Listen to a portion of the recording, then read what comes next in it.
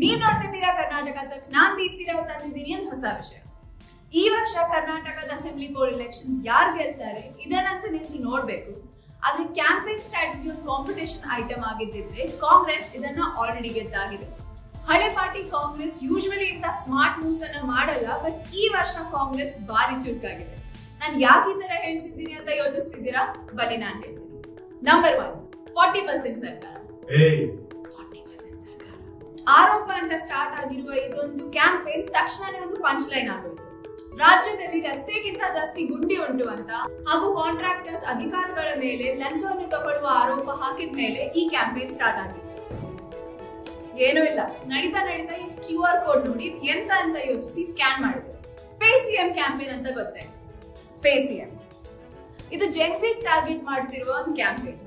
CM ಬೊಮ್ಮೆ ಮುಖ display ಮಾಡ್ತಿರುವ ಈ Q R code ಅನ್ನು ರಾಜ್ಯದ ಎಲ್ಲ ವಾಲ್ಸ್ ಅಲ್ಲಿ ಅಂಟಿಸಿದ್ರು. ಸಿಎಂ ಬೊಮ್ಮೆ ಮನೆ ಹೊರಗ್ ಕೂಡ ಅಂಟಿಸಿದ್ರು. ಸ್ಕ್ಯಾನ್ ಮಾಡಿದಾಗ ಫಾರ್ಟಿ ಪರ್ಸೆಂಟ್ ಸರ್ಕಾರದ ಹೋಮ್ ಪೇಜ್ಗೆ ಕರ್ಕೊಂಡು ಹೋಗುತ್ತೆ. ಕಿವಿ ಮೇಲೆ ಹೂ. ಇದನ್ನ ನನ್ ಲುಕ್ ಬಗ್ಗೆ ಅಲ್ಲ.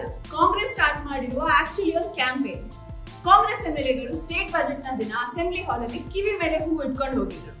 ಇದರ ನಂತರ ಹ್ಯಾಶ್ ಕಿವಿ ಮೇಲೆ ಹೂ ಎಲ್ಲಾ ಸೋಷಿಯಲ್ ಮೀಡಿಯಾ ಪ್ಲಾಟ್ಫಾರ್ಮ್ ಅಲ್ಲೂ ಟ್ರೆಂಡ್ ಆಗಕ್ ಸ್ಟಾರ್ಟ್ ಆಯ್ತು. ಅಮೂಲ್ ವರ್ಸಸ್ ನಂದಿನಿ. ಜನವರಿ ಎರಡ್ ಸಾವಿರದ ಇಪ್ಪತ್ತ್ ಮೂರರಲ್ಲಿ ಅಮಿತ್ ಶಾ ಮಂಡ್ಯಕ್ಕೆ ಹೋಗಿ ಒಂದು ಸ್ಪೀಚ್ ಕೊಡ್ತಿರುವಾಗ ಬಾಯಿ ತಪ್ಪಿ ಕರ್ನಾಟಕ ಮಿಲ್ಕ್ ಫೆಡರೇಷನ್ ಹಾಗೂ ಆನಂದ್ ಮಿಲ್ಕ್ ಯೂನಿಯನ್ ಲಿಮಿಟೆಡ್ ಮಧ್ಯೆ ಸಹಕಾರ ಇರ್ಬೇಕಂತ ಹೇಳಿದ್ರು. ಅಷ್ಟೇ, ಇದಾದ್ಮೇಲೆ ಒಂದು ಫುಲ್ ಕಾಂಟ್ರವರ್ಸಿ ಸ್ಟಾರ್ಟ್ ಆಯ್ತು.